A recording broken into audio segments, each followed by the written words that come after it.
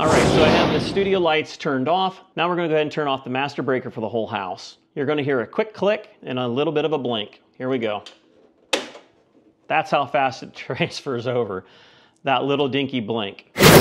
Welcome back to the channel. If you're new here, my name is Rick and I'm a heating, air conditioning, refrigeration technician that also works on home standby generators. Generally, that's what my channel is all about, me making repairs on that kind of equipment out in the field. And that's the reason why EcoFlow reached out to me to do a comparison video between their brand new unit here, the EcoFlow Delta Pro Ultra, and the home standby generators by Generac. Now, if you've seen any of my videos, I usually do repair videos on the repair of Generac generators where I've got a misload of different problems that I run into. So I thought this video might be kind of interesting to put together for you. So today what we're going to be doing is going over what the key features and specifications of this unit is, what you can expect in the box, some of the other accessories such as the Smart Home Panel 2, and discuss the Power Insight tablet that's also available. Let's get started. Now when you get this behemoth in the mail, you're going to have to put it together. Now, just so you know, this top inverter here weighs about 72 pounds, and our battery section down on bottom weighs about 116 pounds. So first we take our right angle plug here, which this is really nice because it doesn't leave wires hanging all over the place. And we simply attach it here at the top and at bottom. We just align it there, and there's really no way to do this wrong because if you flip it around, it won't fit. And on the side here, we have a locking nut, which you could secure it by putting a screwdriver in there and simply turning it a quarter turn to lock it into place. That locks the actual push button so that it can't be pushed down, so it can't be pulled out. So now that we have the battery plugged into the inverter, let's go ahead and talk about what the inverter is capable of doing. What's really special about this machine is the fact that it can do 240 volt split phase power, which is going to give you enough power to run your heavy loads such as an air conditioner, a dryer, or a stove, or appliances such as that. Never before have they been able to have a portable power station that can produce that kind of wattage and that kind of power at that kind of voltage and actually still portable. This is the minimum system here with just one battery because this inverter is capable of having five extra batteries underneath this inverter. And if that's not enough power, you can actually add up to three power inverters together to get 21,600 watts. That's competitive with most any big home standby generators. Now, one thing to take in consideration is you're going to need the battery power behind it to make that thing last for a long duration. And each one of these batteries is rated at 6,100 watt hours. Now, for those out there that are new to the solar and power station game, a lot of people don't know the difference between watts and watt hours. A lot of these different terminologies get thrown around and it gets kind of confusing. So to make that kind of simple, just think of your wattage as the actual power that you're going to be using, such as a 100 watt light bulb, and you add that up, that's your total wattage.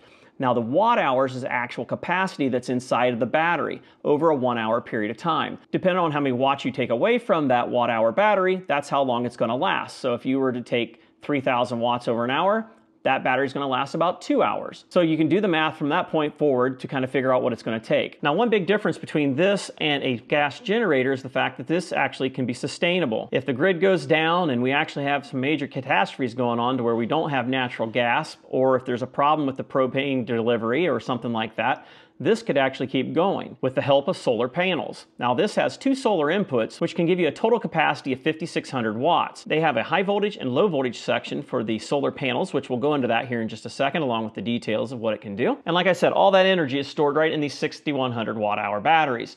Now these batteries do wear out over time. They're good for about 3500 charge cycles which is about nine and a half years and it's going to have about 80% capacity at the end of that nine and a half years. Even with the 20% reduction, you're still at 4.9 kilowatt hours. So you're still at more watt hours than what most portable power stations you see on the market now. Now, one thing I've really liked about the EcoFlow's layout here is how simplistic it is. Right here on the left-hand side, we have the input wattage, and on the right side, we have the output wattage. We got clarification that we're running at 60 hertz sine wave. We've got the Wi-Fi emblem right here, and right beside it would be the Bluetooth. In the middle, it tells us that we have one battery connected, and it would read higher than that if there was more connected. In the middle is the state of charge for the battery, and down here at the bottom is an estimated time that the battery will last based off of how many watts that you're drawing off the battery. I'll throw up a screenshot of some of the other icons and stuff that you've got here on the display. This is a very large display, measuring right over 9 inches. Even though this power station is capable of running a whole home, they know that you're going to possibly be using this out in your RVs, camping, and all those other situations, and you may need a USB-C adapter, which it has two of those here on the front left-hand corner. These are rated at 100 watts a piece. And over here on the right, we have the USB-A's, and these are rated right at 12 watts a piece for a total of 24 watts. Now for communications, down in the bottom left-hand corner, we have a USB-A 4G dongle that can be added to the system. This allows you to have cellular communications if you don't have Wi-Fi available and you want to remotely be able to control the unit.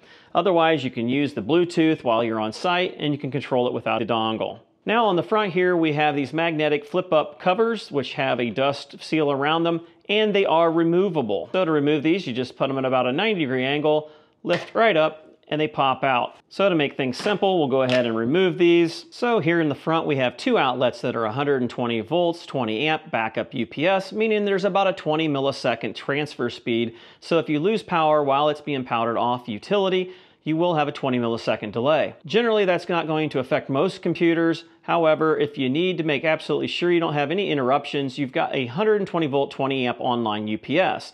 There is no delay because there is no switching. It's constantly being powered right through off of the battery, so you're able to have full backup here. Now over to the right, we have a 120 volt, 30 amp online UPS system for our V-type style plug which gives you 30 amp capacity at 120 volts. And off to the right here, we have the 120 volt, 240 volt, 30 amp plug, which is an L14-30, allowing you to have 240 or 120 volts. This is where you're gonna get your maximum wattage out of the unit. Now here on the right-hand side, we have our Anderson plug, which is rated at 12.6 volts at 30 amps of current. This allows you to hook up your low voltage appliances such as refrigerators and other 12 volt appliances.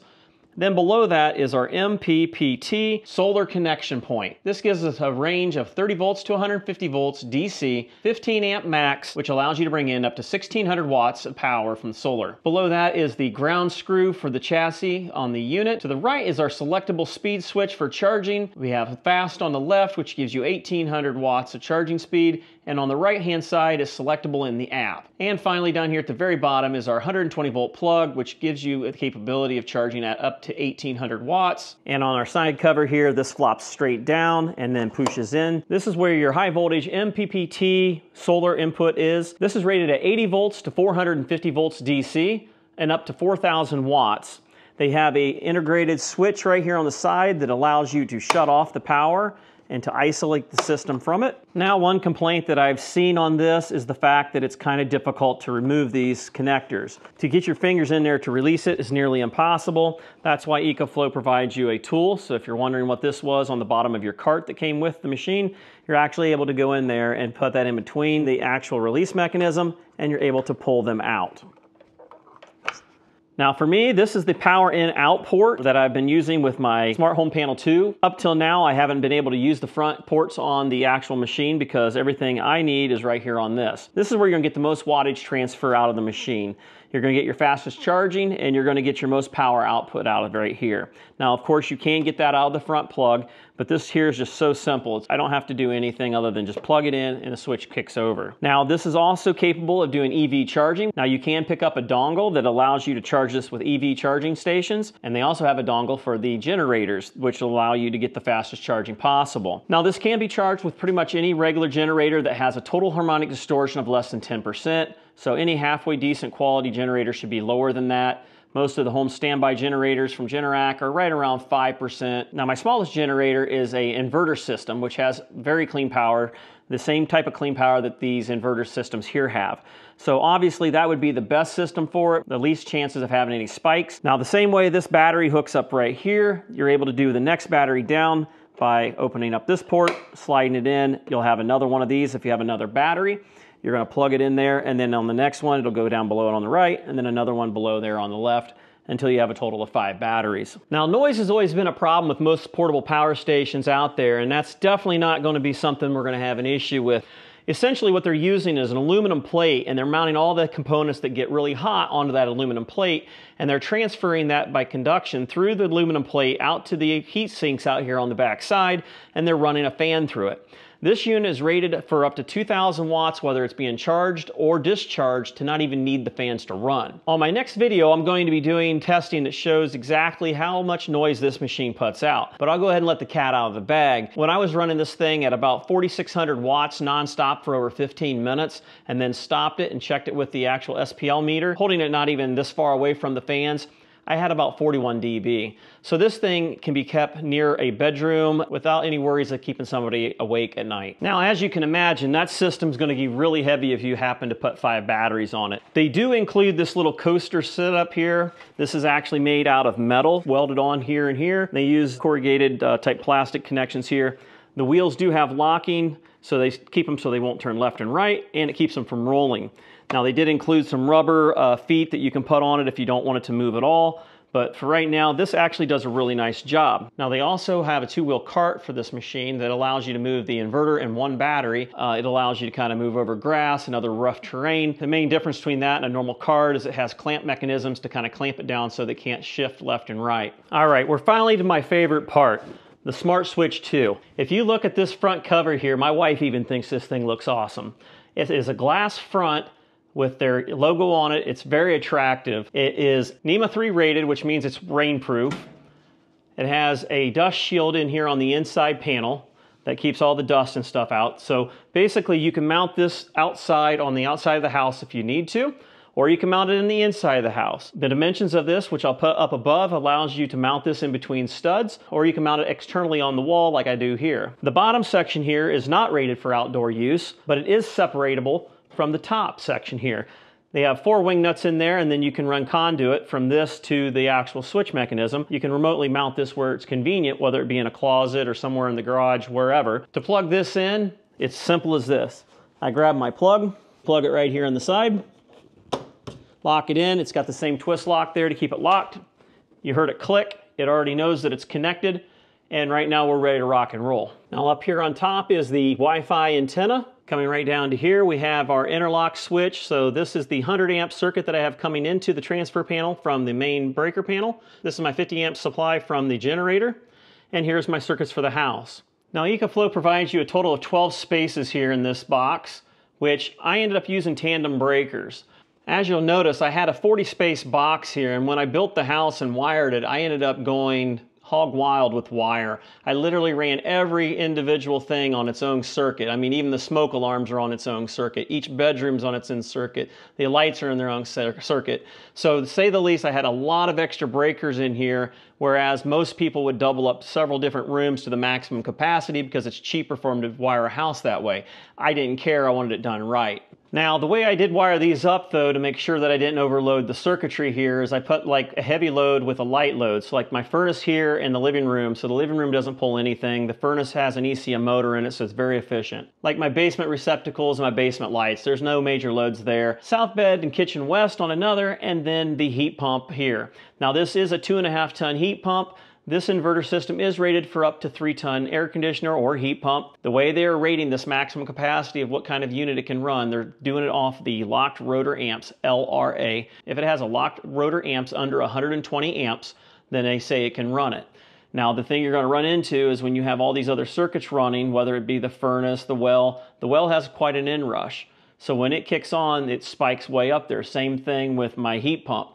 When we go into the next video that I did where I showed me installing this and actually putting things together, I actually did my inrush values on it and the heat pump actually pulls about 52 amps for instantaneous second. That's where the inverter system down here that can run 10,800 watts for 10 seconds is able to handle that kind of load.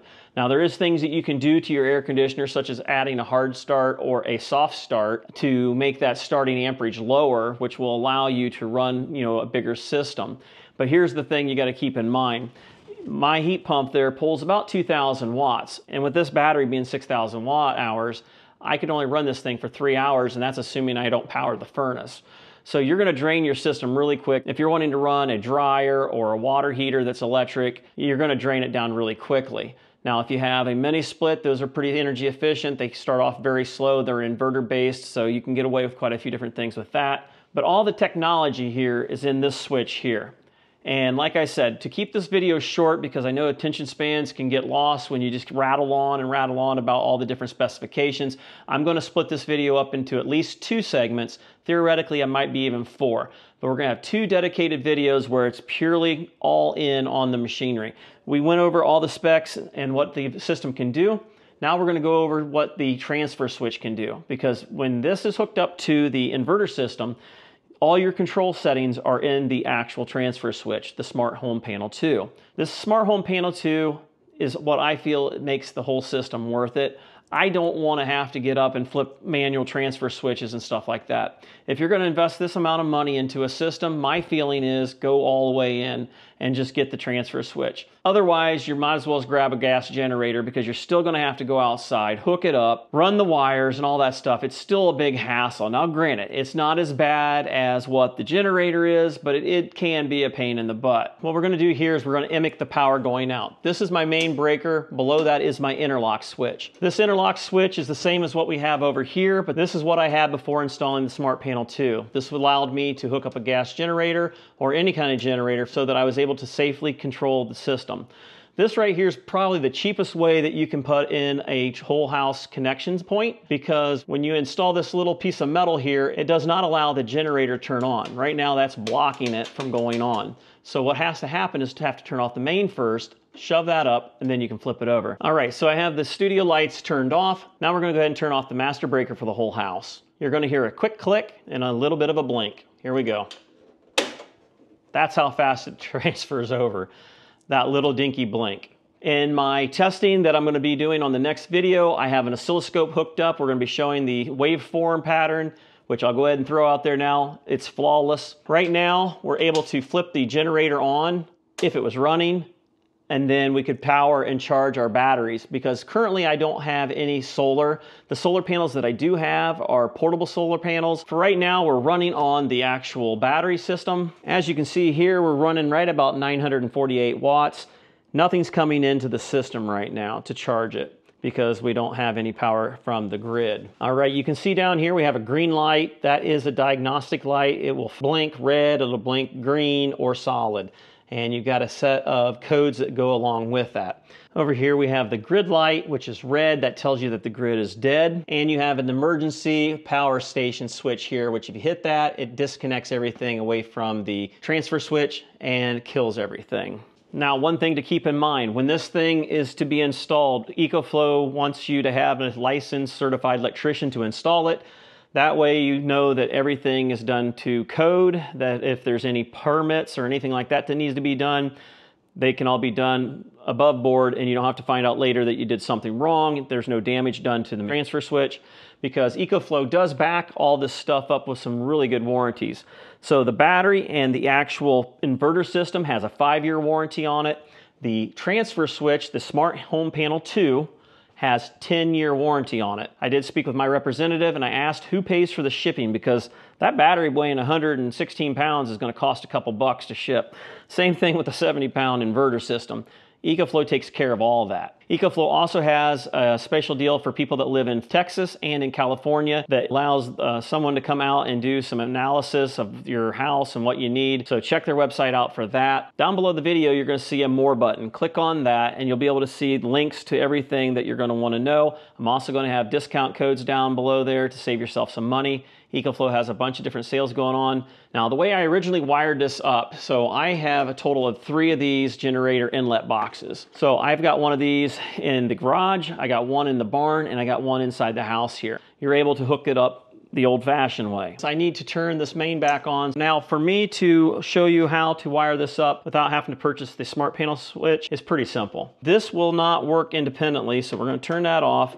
We're gonna disconnect our power wire there and we're going to go ahead and disconnect it from down here just in case. You cannot turn on any of the outlets here on the front unless that cable that I just unhooked is unhooked. Just like with a normal gas generator, you're able to take your plug, plug it in, twist lock it, hook it up to your 240 volt outlet. Right now I've got the AC power on. Now that is one thing about this uh, unit that some people ask about. If it goes completely dead and you're not home, will it come back on when you're done? They do have that as an option in the app. It's called always on. So yes, you can do that and that option is turned on. Now this thing is technically powering my actual generator box. You can see here that I have a green light, which tells me I have power on this box. So the power goes out. You can do this a couple different ways. So we come over here, same thing we had before. The power goes out, it's gonna go dark, like that. Now these lights are running on a actual battery station. Now that we turned off this 200 amp breaker, I'm able to lift that plate up. Now I can pull the generator over to there and we should get our power back on like that. Well, right now we're running the easy sleazy way. Right now we're able to power the box just like normal, which in reality, what this here would be is you'd have a sub panel box over here, or theoretically, you wouldn't even have to have a sub panel box. But most people, what they'll do is they'll have a sub panel box, which allows you to send a set of dedicated circuits here, like you have here, of your most essential circuits. What I did before was I actually came through here and marked off anything that was high amperage, like my barn, my dryer, well pump, stuff like that, or what have you. And I was went through and it just shut those things off. If I didn't need it, I just basically had to do it manually. As you can see, it's so much nicer to have it already set up. Power goes out, boom, it flips over. I ain't got to think about nothing you know, I'm going to get at least a few hours out of this thing. It could be as much as six hours. I pull a lot of power with this house. So when you look at my app, you can see how much I pull. And there's sometimes when I run the actual AC, I can get well over 2,500 watt hours easily in one day.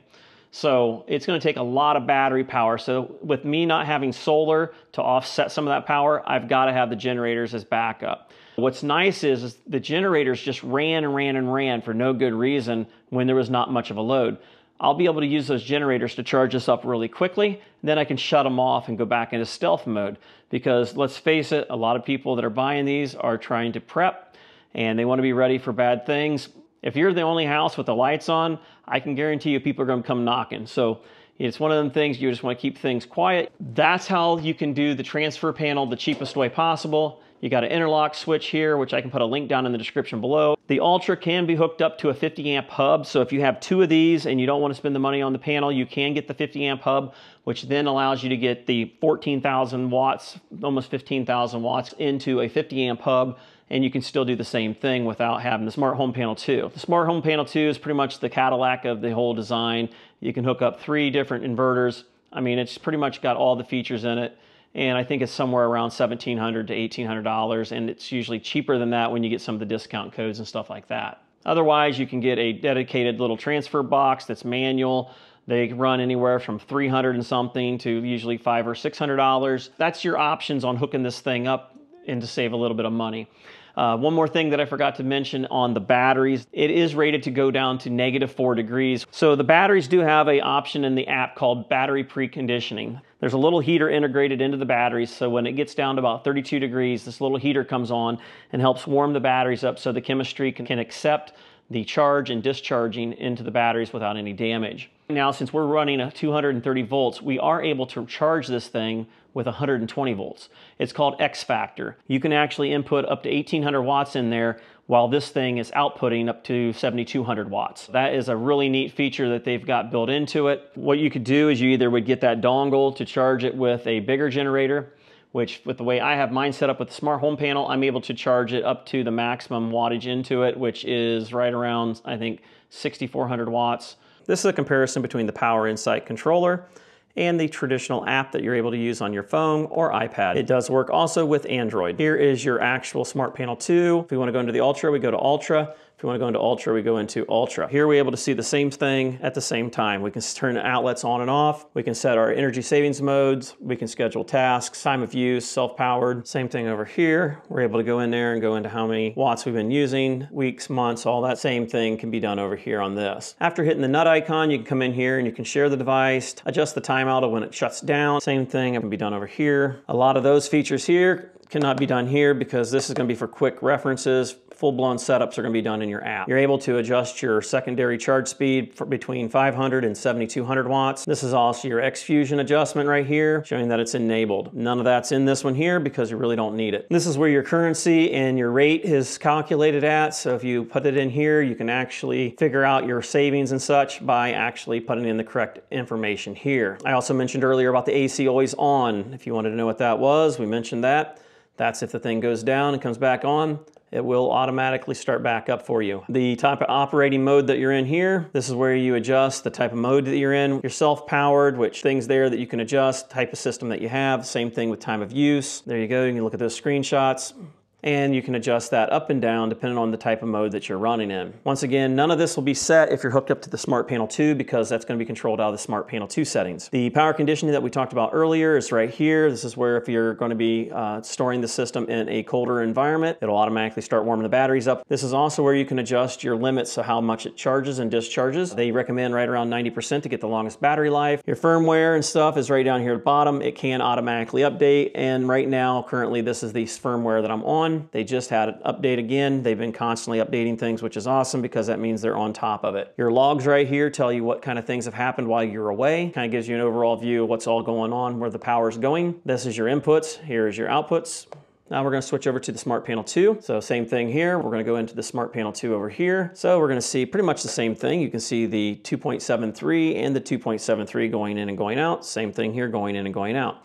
Generally, this is about the only thing you're really gonna need at a glance. Any of those special settings you're gonna do from the app. Here's your 12 circuits. You're able to go in here and look and see what you're actually pulling. Same thing here, click on circuits. Here's the same things. You got heat pump and you got all the way down to circuit 11 here. With this being a 12.9 inch display, you're able to get everything on there. If you wanna go by blocks type design, you can go by blocks here. If you wanna go by list, you can do that also like that. Down here at the bottom, you are able to go into these icons here and you can adjust your operating modes just like you've seen on the other. So there is some settings here that you can adjust without having to get your phone out. Same thing with the home. It tells you how much power you've been using over the week, month, and year. Both of them have this feature. You're able to look at each one of those things and graph them out, which makes it kind of convenient so that you can see where your power's going. Like I said before, when you're connected to the Smart Panel 2, this is where you're gonna set pretty much everything up because the front panel and everything on the Ultra is gonna be defeated and it's going to be all ran from here because you're running all the power straight into the smart panel. This is where you're going to set up your home settings, what type of grid, your maximum amp draw into it. When a storm is coming, it's based off of your area code. It will automatically charge the batteries up to 100%.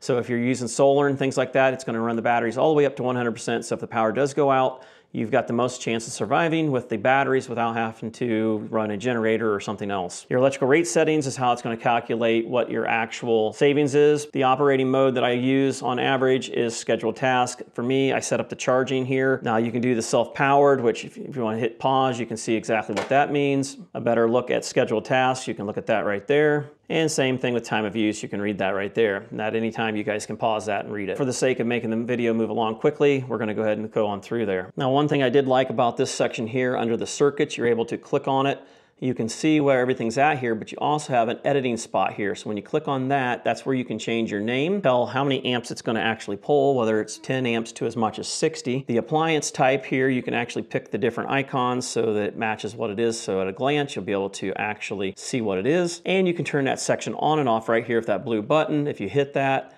it's going to ask you, are you sure? So if your kids are blasting a stereo or the wife's taking a long shower, you can go right in there and kill it, and you can make them very angry. So here's one last section I want to cover, which is the outage strategy. Go into setup. There's my must have. For me, I've got the furnace and living room on there because that's my TV and my actual heating appliances. Next is gonna be my garage and small bath because that is my refrigerators and the bath doesn't pull anything. Same thing with another fridge and the routers because I wanted to stay in communications. Now you can scroll over here to nice have circuits, which is our well pumps. I can adjust that part right there to anything I want. So if I wanted to kick out at 0% to as much as 90, I can do that. These are gonna be the items that are gonna be shedded as we get down to that last 20%. Say I'm not home to start the generator. I wanna make sure my food is not spoiling and that I'm able to communicate with the device. So that's why I've got the routers and stuff like that on the backups up until about now. And finally, non-priority circuits is the heat pump. Like I said, that thing's very large. It's going to pull a lot. So unless you have solar and you have extra batteries, that's going to be one of those things that you're probably to want to shed. Once you're done, click OK. On this one here, yeah, you can turn the circuit on and off from here, along with checking uh, the actual usage, but I do not see where you can change the names. Like I said, it's a little limited here on this one here as far as being able to change names and stuff, but you can turn it on and off and check your usage over here underneath the circuits. In all reality, if this is going to be accessible to people, kids, family members, people you don't want touching it, it's best that it doesn't have all those small details so that they're not messing with things. All right, guys, that's going to wrap up this section of the video. Like I said, I just wanted to go over some of the basics of what it had to offer, whether or not it's something you'd be interested in. That was the whole reason for this particular video for my first one. There's just too many things to cover and cram it all into one. Most of these videos that do that are 30 to 40 minutes. I usually try not to go more than 22, and even then, people tend to dive off after 10 minutes or so. We are going to be back with another video that is going to show you how I installed this system. Like I said, I am a heating, air conditioning, refrigeration technician. We have electricians, so I am able to run underneath the licensing of my company. In this area where I live at, there is no inspections, so there is no permits. We're pretty free around where I'm at. So like I said, that's why you need to go through the licensed electrician if you're going to want to install one or just run at your own risk otherwise. So when we come back on that next video though, we're going to go in here. I'm going to show you how I wired this up. We're going to show the testing. We're going to make sure that the system actually puts out the wattage that it actually is claiming. We're going to make sure that it uh, doesn't have any weirdo bugs.